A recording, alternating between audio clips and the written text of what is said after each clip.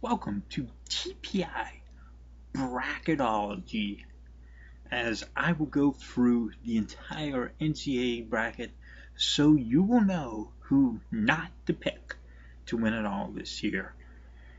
Of course, I have won the championship three times, and that's three times more than most of you.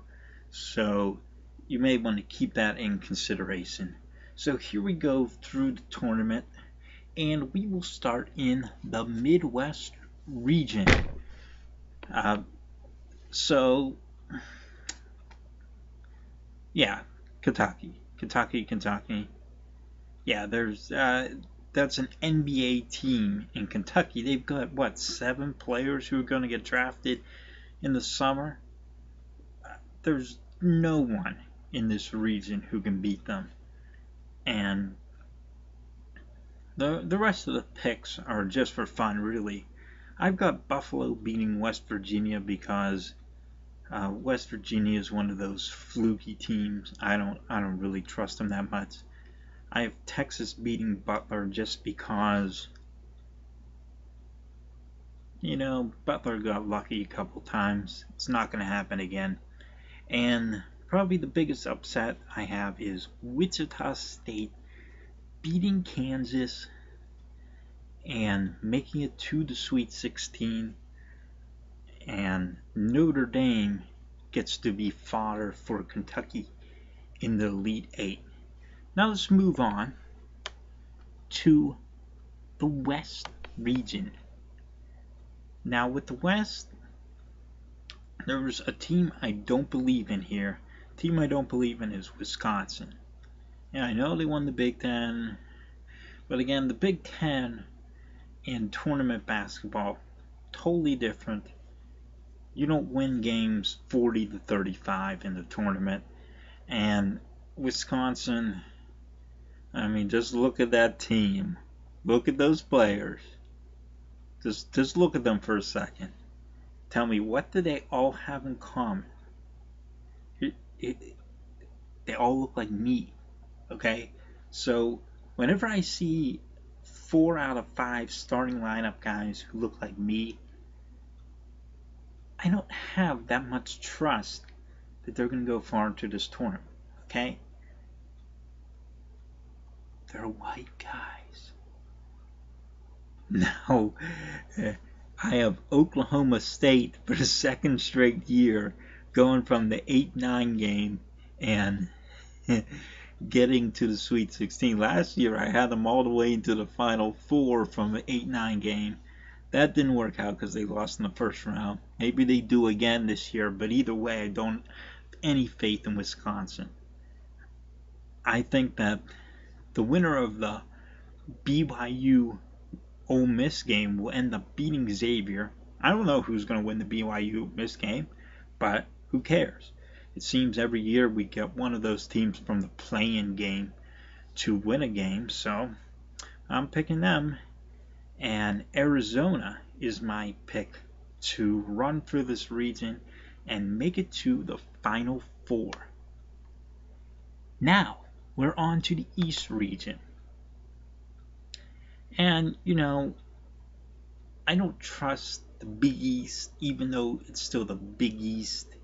It's not really the Big East, but you know, it's still got that name, Big East. So I can't trust any Big East. Still, though, uh, there's teams I trust less in this region. Virginia. Like, Virginia scores 50 points a game, it seems. And yet somehow won all these games. They, they got beaten the ACC tournament, which was real basketball. So whenever they have to play real basketball against, say, Michigan State, they get beat. I love to pick Oklahoma because Oklahoma was one of my favorites from a long time ago. Whenever I first started picking brackets, I loved Oklahoma, and I love to pick Oklahoma to win this, but I don't have any faith in them. So Oklahoma only makes it to the Sweet 16, and Dayton plays at home in the first round. They get a home game in the first four, the play-in game. They'll win that one, Then the win against Providence because Providence is from the Big East and I don't trust the Big East. And then Oklahoma gets there to play Michigan State, but Michigan State goes all the way to the Elite Eight as number seven seed, which really isn't a surprise. I mean, uh, Tom Izzo always has that team going good, and Villanova ends up advancing to the Final Four from that region. Finally, there's the South region. Now, I hate Duke. I hate Duke because everyone else, all you guys, you all love Duke, and I hate Duke. Okay? And I I don't know why you guys like Duke so much. So I hate Duke. And the number one reason I hate Duke, here it is. Because if I pick Duke to win it all, I know I have no shot of winning the bracket contest because all you guys are all going to pick Duke too. So we're going to see the list of champions there is going to be Duke, Duke, Duke, Duke, Duke, Duke, Duke, Pitt, that's Jay's, and then there's mine. And yeah, Jay's still going to pick Pitt this year, even though they're in the NIT. So, and remember, you can't spell NIT without pit. Well, you can. But who cares, you know? And, you know something? Duke, I'd love to pick them to get humiliated in the first round yet again. But I can't because this region is just too easy. It's too e- I mean, there there's no one good in this region. No one good. This region's a joke.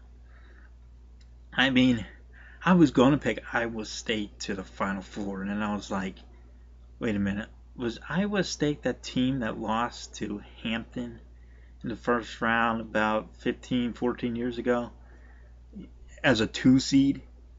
Yeah, I, I am not trusting Iowa State, but who they got to play? Uh, Gonzaga.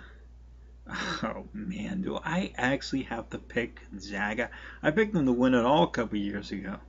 That didn't work out too good. Yeah, uh, Davidson.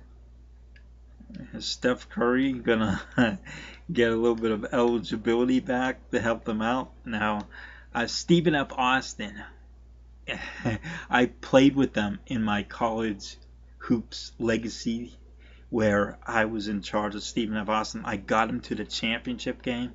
So the NCAA championship game, like the top two, the final two, yeah, I got them that far.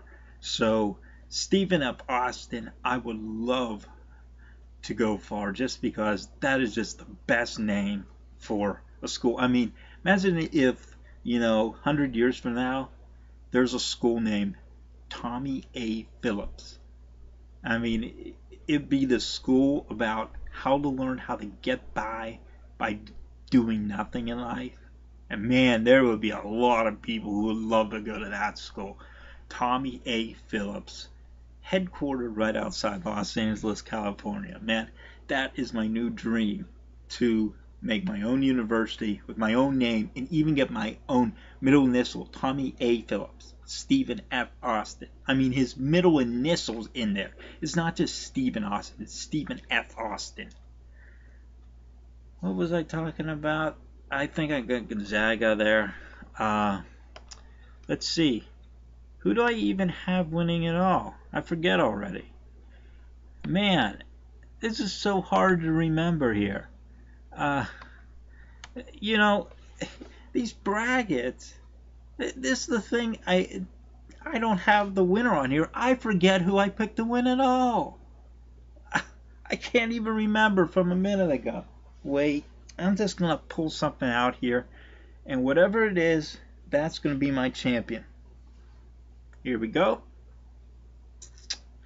And there you have it. There is your champion right there. Yeah. 40 and 0, baby. Kentucky.